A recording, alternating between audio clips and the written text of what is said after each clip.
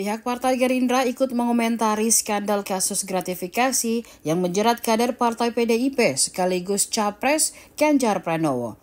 Pentolan Partai Prabowo Subianto itu malah memberi peringatan kepada pihak Komisi Pemberantasan Korupsi atau KPK yang menangani kasus tersebut.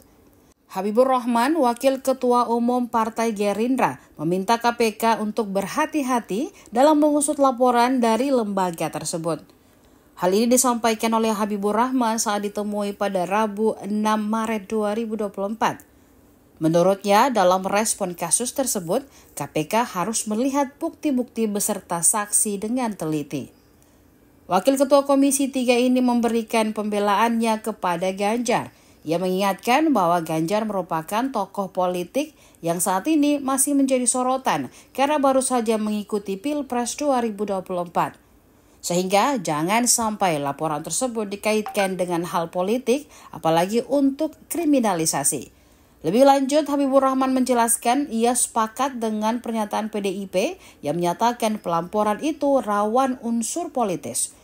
Diinformasikan sebelumnya, KPK menerima laporan terkait dugaan penerimaan gratifikasi di Rut Bank Jateng periode 2014-2023 Supriyatno dan Gubernur Jateng periode 2013-2023 Ganjar Pranowo.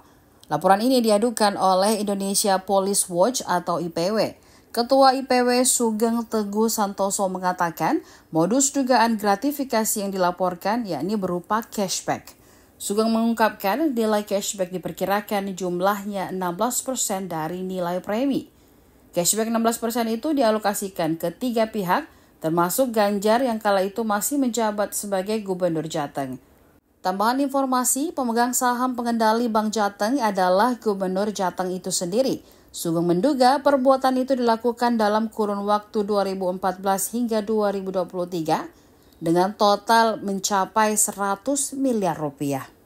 Download Tribun X sekarang, menghadirkan lokal menjadi Indonesia.